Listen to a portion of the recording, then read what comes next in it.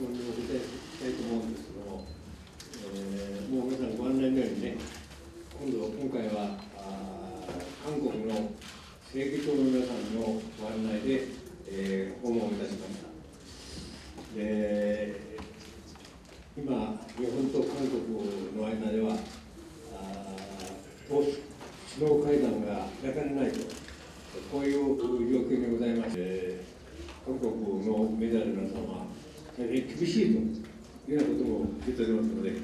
お手柔らかによろしくお願いいたします。独島の問題があり、えーその紛争に近いえー状況があ起こりつつあります。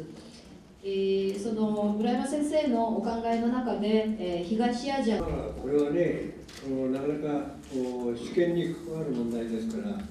えー難しい問題だとは思います。ただあの、歴史的に言いますとね、